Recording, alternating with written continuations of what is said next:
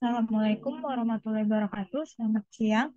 Perkenalkan nama saya Aulia Rahma dengan NIM 2202111010 dari kelas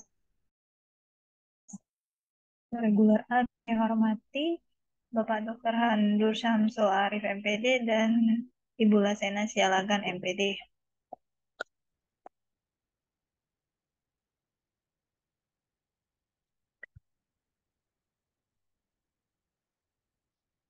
Di sini saya akan mempresentasikan isi dari laporan penelitian tindakan kelas yang yang saya unduh dari internet dengan judul Upaya Metode Make Maths untuk meningkatkan hasil belajar siswa pada kelas 8F pada mata pelajaran Pendidikan Agama Islam yang disusun oleh Ayu Amelia dengan NPM 10165100026.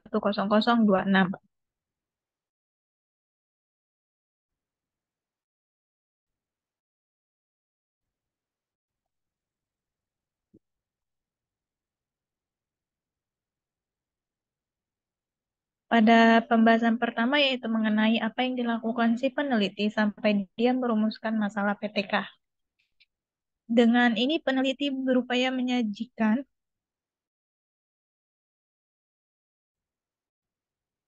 berupa Mekamet untuk dapat meningkatkan hasil belajar siswa terkhusus pada pelajaran pendidikan agama Islam, metode Mekamet termasuk strategi pembelajaran, strategi pembelajaran kooperatif atau gotong royong, gotong royong atau cooperative learning, bentuk pengajaran yang membagi siswa dalam beberapa kelompok yang bekerja sama antara satu siswa dengan lainnya untuk memecahkan masalah.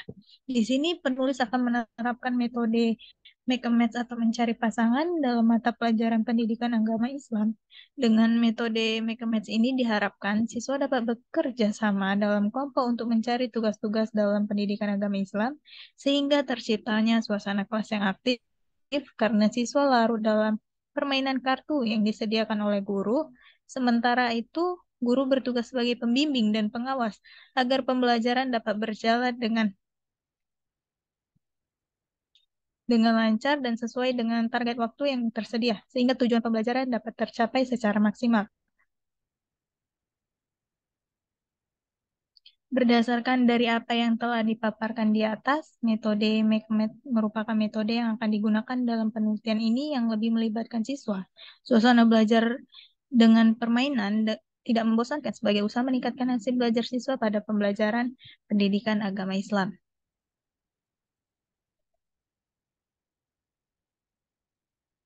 Selanjutnya,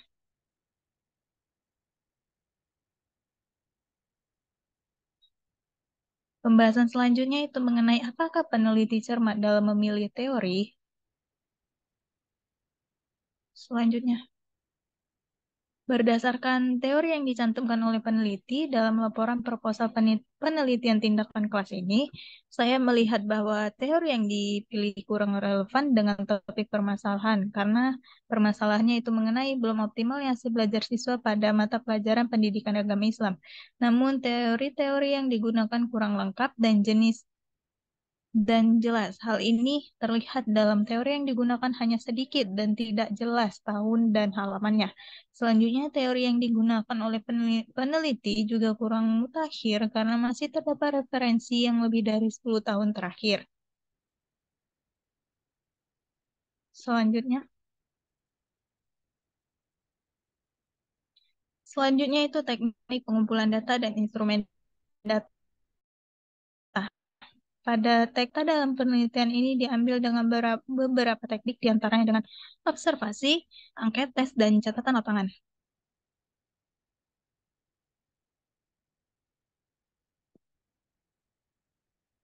Selanjutnya pada instrumen data terdapat tiga yaitu yang pertama tes tulis dalam bentuk soal uraian dan pilihan ganda, yang kedua yaitu lembar pengamatan untuk guru, dan yang ketiga itu lembar pengamatan efektif siswa.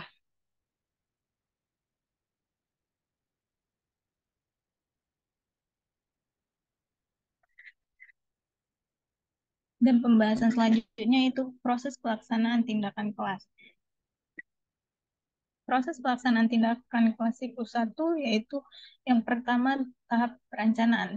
Pada tahap perencanaan pelaksanaan penelitian tindakan kelas, pada siklus 1 menggunakan metode make match pada materi ibadah puasa, membentuk pribadi yang bertakwa, Untuk mengoptimalkan pelaksanaan pembelajaran, maka disusun perencanaan baik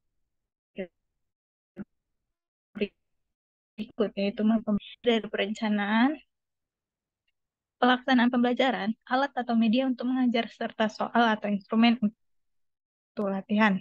Pada tahap perencanaan ini, peneliti juga, peneliti juga menyiapkan RPP, instrumen penelitian yang akan digunakan dalam proses pembelajaran. Pada tahap perencanaan ini, pelaksanaan yang pertama adalah membuat rencana pelaksanaan pembelajaran atau RPP Kemudian menyiapkan lembar observasi, menyiapkan lembar kerja siswa yang akan dipelajari dan dikerjakan secara bersama-sama. Tahap selanjutnya itu tahap pelaksanaan. Pada pelaksanaan perbaikan pembelajaran pada siklus 1 dilaksanakan pada hari Kamis tanggal 5 Maret tahun 2020. Peneliti bertindak sebagai guru dalam melakukan pembelajaran dengan menggunakan metode McMath, McMath dan ibadah puasa membentuk pribadi yang bertakwa. Pertemuan ini dilaksanakan dengan alokasi waktu 3, 3 jam pelajaran yang terbagi dalam kegiatan awal atau pendahuluan, kegiatan inti, inti dan kegiatan penutup. Tahap selanjutnya itu tahap pengamatan. Berdasarkan hasil pengamatan siklus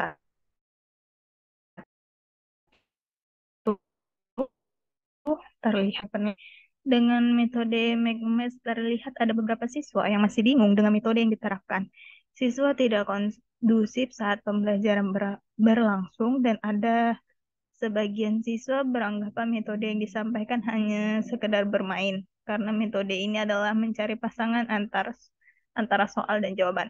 Dari hasil pengamatan yang dilakukan oleh observer dan peneliti dalam siklus 1, telah menemukan hasil belajar siswa yang kurang selama melakukan pelaksanaan perbaikan melalui penelitian tindakan kelas dengan, menggun dengan menggunakan metode math pada materi ibadah puasa membentuk pribadi yang bertakwa dan diperoleh hasil belajar siswa melalui evaluasi pembelajaran yang telah dilaksanakan.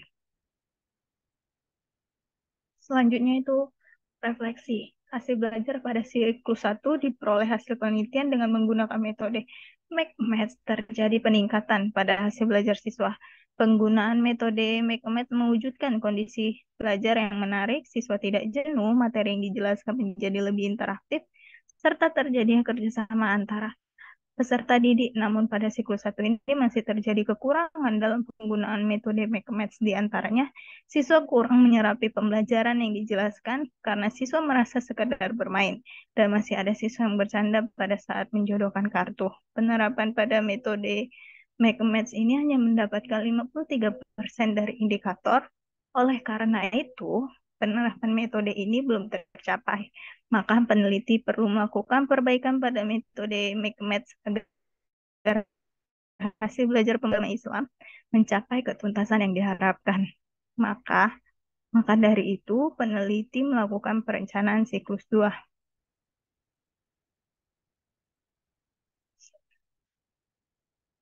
Pada proses pelaksanaan tindakan siklus 2, tahap pertama yaitu pada tahap perencanaan. Perencanaan pelaksanaan penelitian tindakan kelas pada siklus 2 menggunakan metode McMath pada materi ibadah puasa membentuk pribadi yang bertakwa. Pada tahap perencanaan, perencanaan ini, pelaksanaan yang pertama adalah membuat rencana pelaksanaan pembelajaran atau RPP, kemudian menyiapkan lembar observasi, menyiapkan lembar kerja siswa yang akan dipelajari dan dikerjakan secara bersama-sama.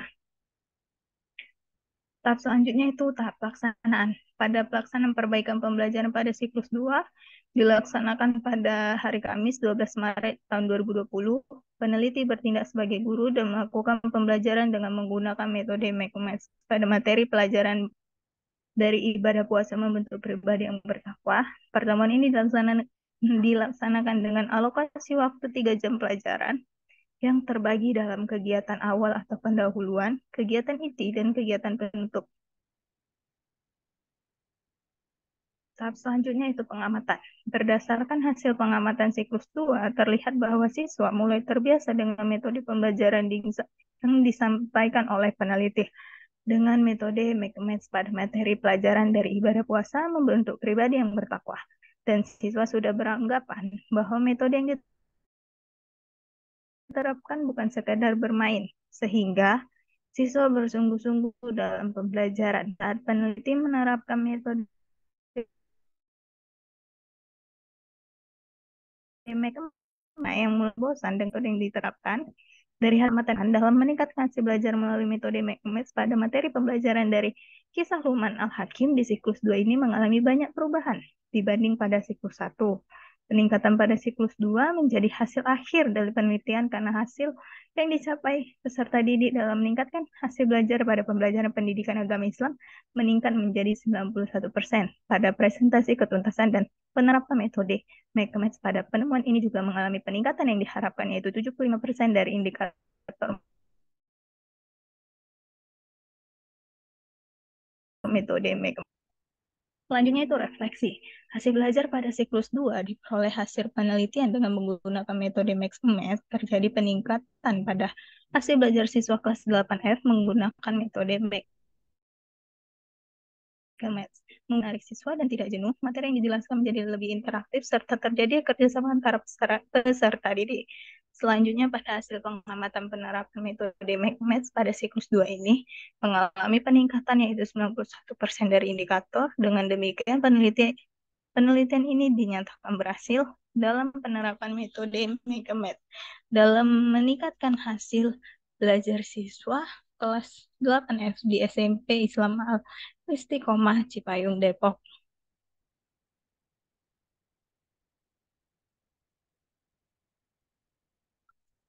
Selanjutnya. Dan pada pembahasan terakhir yaitu mengenai teknik analisis data apa yang digunakan si peneliti. Teknik analisis data analisis data pada proses mencari dan menyukai diperoleh dari hasil observasi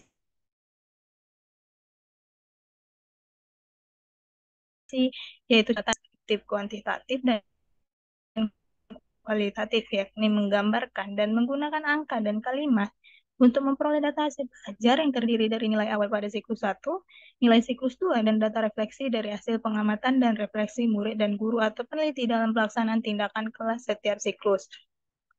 Baik, itu saja. Baik, itu saja yang dapat saya sampaikan. Lebih kurangnya saya memohon maaf. Wassalamualaikum warahmatullahi wabarakatuh.